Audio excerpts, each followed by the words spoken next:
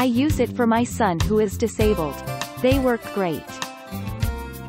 Glad that it works as advertised.